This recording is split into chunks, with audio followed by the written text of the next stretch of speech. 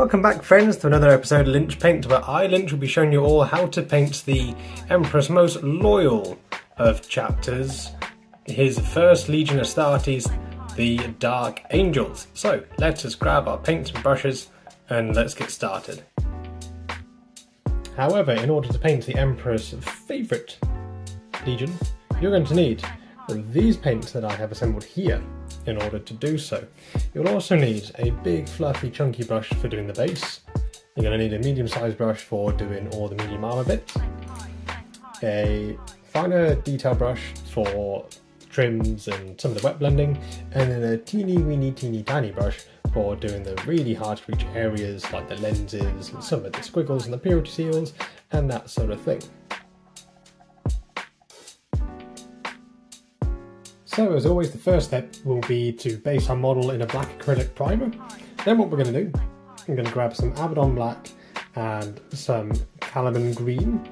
We're going to do a 50-50 mix of these two paints and this is going to be our starting layer and then using wet blending we will then build the layers up to a much brighter green.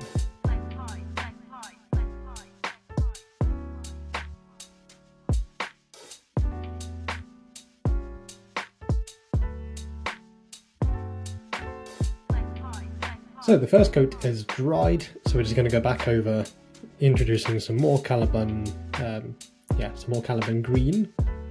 And we're just going to pick out some of the raised areas at the top of the leg, his helmet. Keeping our it's nice and thinned, and we will try and aim for a nice smooth coat.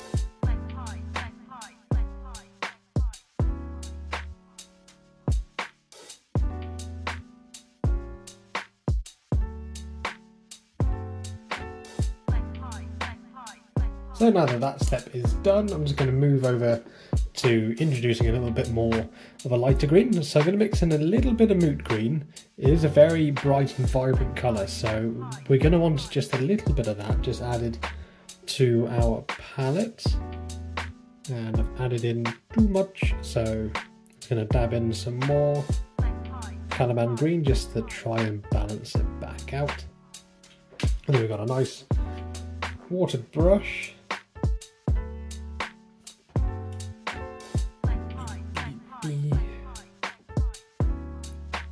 and then we're just going to rinse and repeat.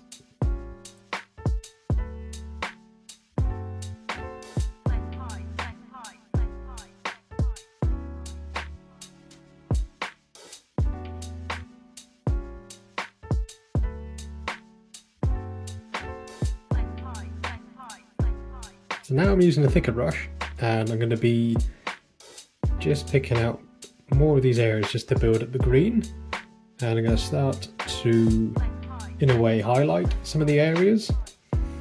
Just kind of thickly for now but then later on I'll be going back over it with a much thinner brush. But we're going to try and build up these layers to make the the armor really pop.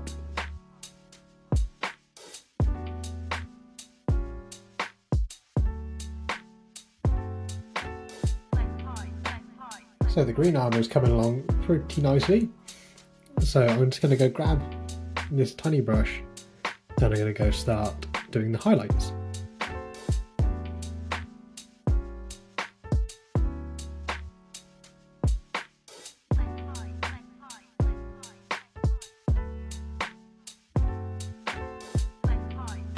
So I'm quite happy with how the green has turned out on the armour.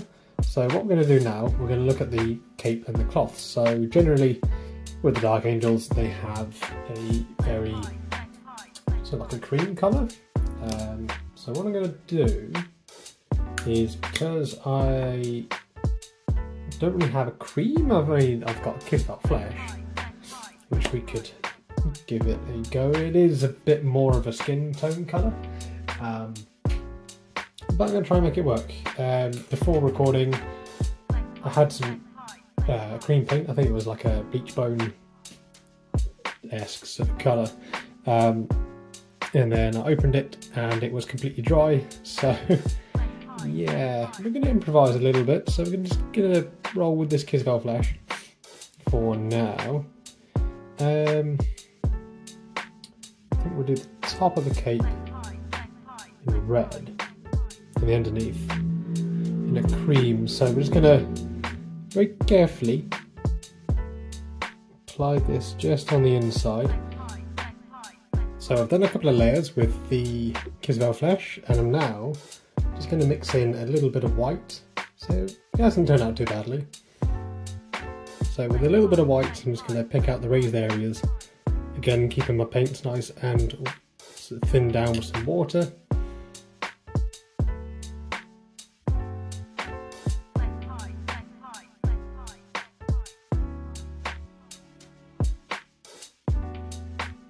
So just while I'm at it, I'm going to use the same colours just to do the purity seals that are hanging off here. Okay, so moving over to his cape, we're going to want some Mephiston Red and a good old Abaddon Black. And we're going to want to mix up a very dark red and then again just slowly build with the colours back up to a nice vibrant red.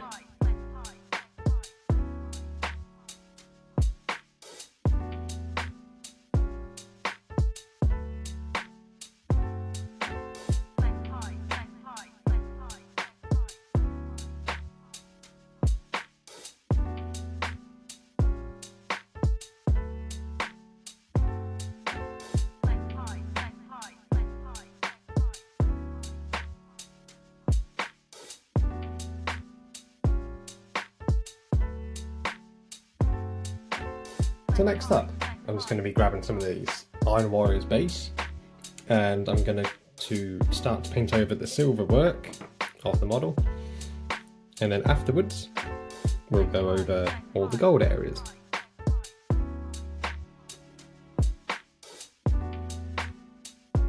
Okay, moving over to the gold areas, so I'm just going to grab this Brass Scorpion. It's a really nice darker gold just to start out with. So we're going to pick out all the trim, all the accessories. Just dip your brush into a little bit of water as this will just help to make sure that your paints are nice and flowing and they're not clagging because metallics, they tend to clag and it can mess up your brush quite a bit because of all the little pigments on the inside of the paint that, uh, or the glitter that helps to make it shine. So, it's gonna pick out all the fancy areas now, really.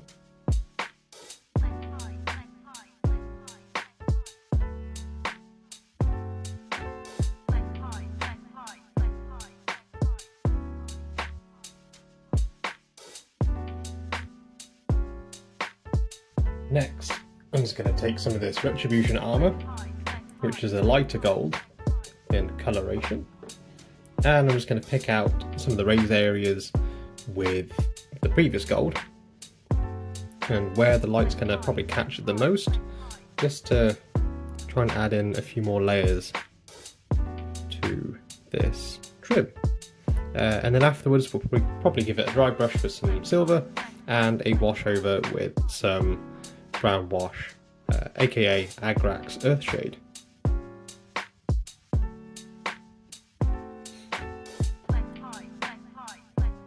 So just to finish off, I'm just going to grab some of this Agrax Earthshade.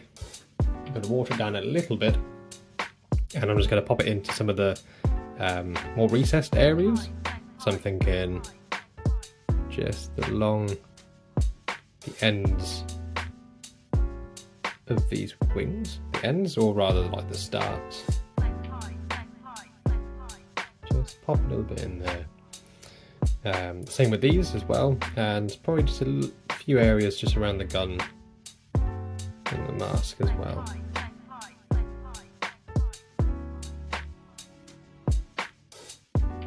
So this is what we have so far, and what I'm going to do next is that I'm just going to fill out a couple of little detailed points. So I'm going to add some little text squiggles onto the purity seals, I'm going to do the eyes as well.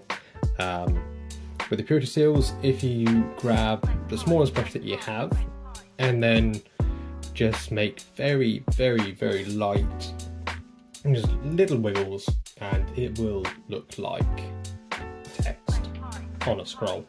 Um, I'd avoid using pure black. I'd say mix in a little bit of grey or white into your black just so it's a very dark grey at least, um, just so it doesn't stand out as much. And then with the eyes, I believe they will be uh, red, so I'm going to grab a small brush, fill in that area there. And then I think after that it's just using, um, just going over the base really. And then we're finished. So let's cut to that, shall we?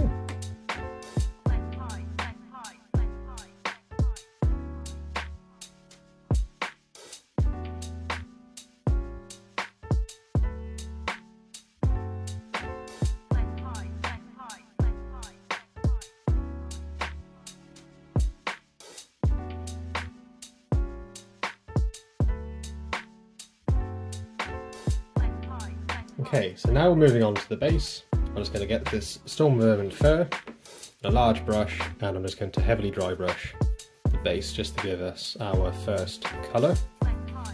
And then what I'll do is, is that I will gradually introduce other greys, maybe some browns as well, into the mixture, getting lighter and lighter until I have achieved the right look and feel for the model. There's a few um, interesting bits on this base, so there's like another Space Marine helmet, um, there's like some little sort of broken metal works on there as well, so I'll go over them um, in sort metallics and then give them a bit of a wash and probably put on some rust effects as well. Um, not too sure who to paint the Space Marine helmet as, maybe another Dark Angel.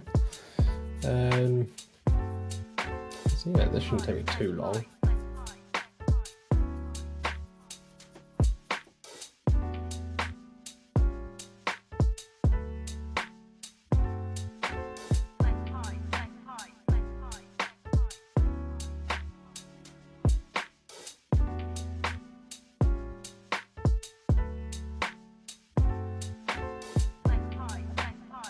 So, this is how I went about painting a Dark Angel Space Marine captain for any Dark Angel Space Marine force.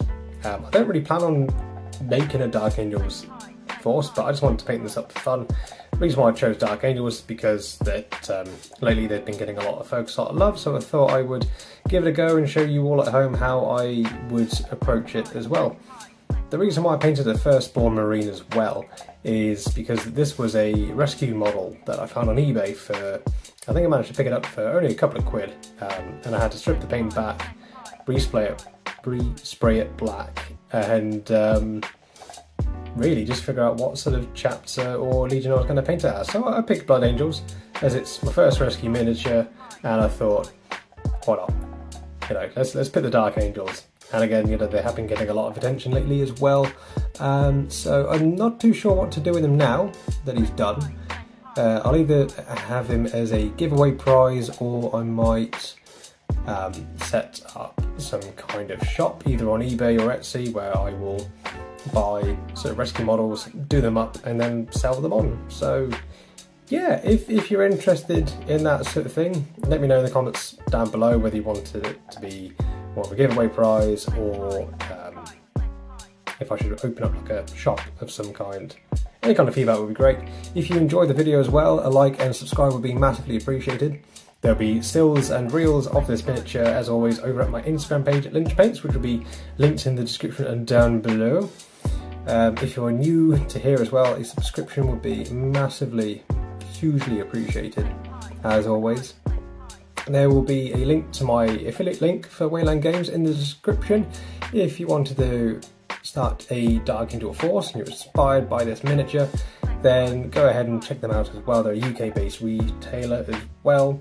And if you want to support me a little bit further, I do have a Ko-Fi page down below as well. Check me a couple of quid, price a coffee, um, and I'll be eternally grateful. So, without further ado, stay safe, stay, oh my goodness, stay safe, stay beautiful, and we'll see you next time.